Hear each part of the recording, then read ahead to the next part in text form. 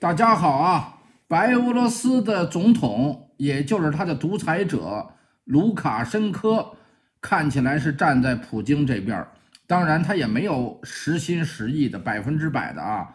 他一看普京没这么顺利，所以最近白俄罗斯态度也有所转化，也是左右逢源，两面派，骑墙派啊。但是乌克兰啊，俄罗斯白俄罗斯的民间。有很多人是支持乌克兰的啊！现在有白俄罗斯的志愿军为乌克兰而战，除了白俄罗斯的格鲁吉亚也来人了，车臣也有。不是说所有的车臣人都支持普京啊。卡德罗夫是普京的傀儡，是他的小弟，他支持这个俄罗斯去攻打、去侵占乌克兰。但是也有很多车臣人站在乌克兰这边啊。给大家看看啊。Мы белорусские добровольцы на данную минуту выдвигаемся в Украину, помогать нашим братьям украинцам. Наши белорусские добровольцы воюют на стороне Украины против российского агрессора с 2014 года. Мы считаем, что мы должны быть там и должны помочь. Не все белорусы агрессоры. Есть только один агрессор Лукашенко, который дал добро на оккупацию нашей земли. Я таксама добраахвотнік, я был ва Украине с 2016 года и прымаў удзел у российско-украинской вайне на боку Украины. у складзе тактычнай групы беларусі. Гэта э, наша супольная справа зупыніць российскую агрессию. Это наш супольны абавязак. Незалежная Украина. Это незалежная Беларусь. Слава Украине! Героям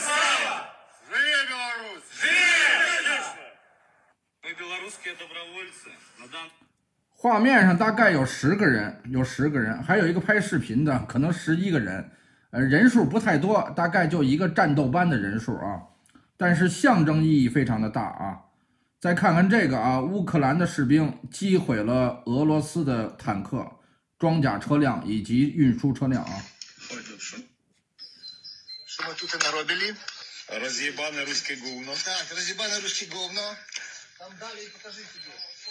Вон там этого гувна, блядь, целая дрога, курва, есть. Рушного гувна.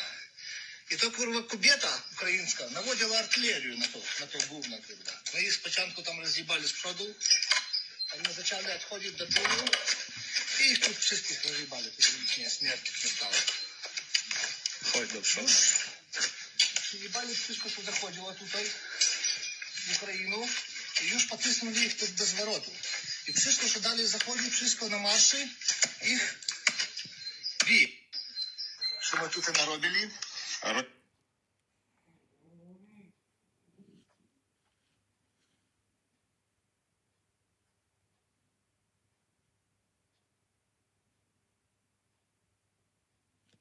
这个是二零二二年三月八号参与杀害乌克兰平民和对乌克兰的城市进行火箭弹袭击的俄罗斯海军的战犯的名单啊，那些参与使用巡航导弹进行导弹袭击的人。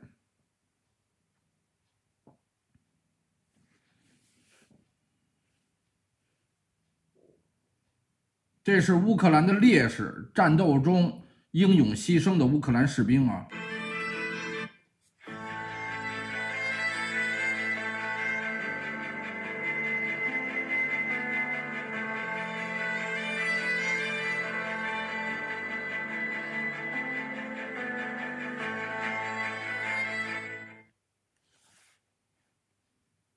多年轻啊，多帅气的阳光少年小伙子啊！